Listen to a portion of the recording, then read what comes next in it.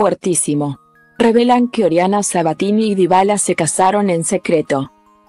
Las versiones de que Oriana Sabatini y Paulo Dybala, en pareja hace cuatro años y medio, se casaron en secreto surgieron a partir de una entrevista que Casi Fulop, mamá de la cantante, dio para un medio venezolano. En la nota, se refirió al deportista como su yerno y como el marido de la cantante. Comillas, ¿cuál es el consejo que prevalece de una madre artista hacia sus hijas públicas? Le consultó Luis Olavarrieta, el periodista que entrevistó a Casi, sobre las pasiones de Casi Fulop. Mi madre, a quien hace cinco años que no veo y que es algo muy duro, me enseñó que por encima de todo está la humildad. Y creo que mis hijas eso lo mamaron de chiquitas, contó casi con la sinceridad que la caracteriza. Ellas trabajan mucho su ego.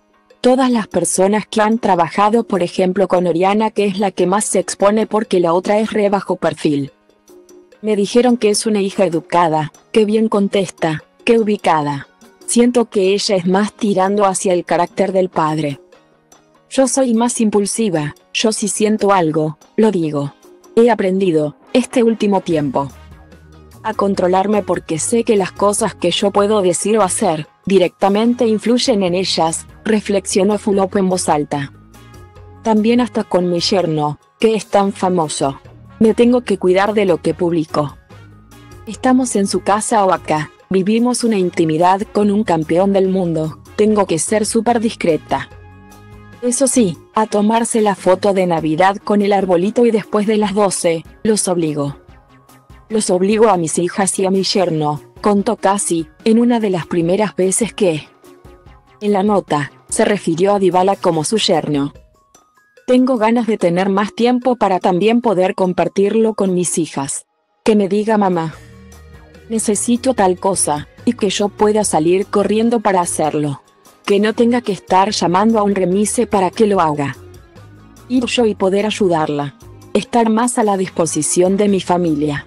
Como explicó Fulop sobre el cambio de vida que está implementando de un tiempo a esta parte. De hecho, mi yerno, Paulo, también influyó mucho, el esposo de Bueno. La pareja de Oriana. Viven hace cuatro años en Italia y él me dice que vaya.